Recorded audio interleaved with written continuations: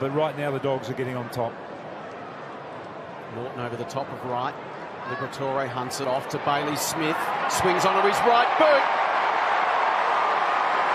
to his mate in Dunkley. Dunkley has a good look and sends it forward bound. Naughton trying to get at it. Jonas and Aliir did well. Bailey Smith roving it magnificently. That is a ripper. He is all class. Weightman in from the side. Here's Bailey Smith. Puts on the Jets. Goes for home. He is every bit a superstar. They look so much better with him back in the side and their other tall defenders and Bailey Smith who really broke the game open in that second quarter.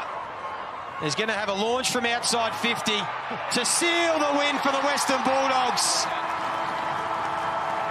Why wouldn't it be the rock star?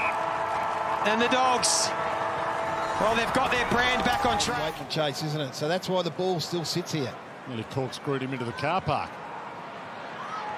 Smith got it from Macrae. Good shot, great shot. From the toughest of angles. So we're going to go head to head again. He missed seven games, Timmy English, so it's game 14. He's done it again. He's dominating this game, Big Tim, at the moment. Bailey Smith, the Dogs have got all the flow. This will bring the house down. If Bailey Smith nails it and lets the crowd know. That was out of bounds. That was out. That was out of bounds. That was out of bounds. That was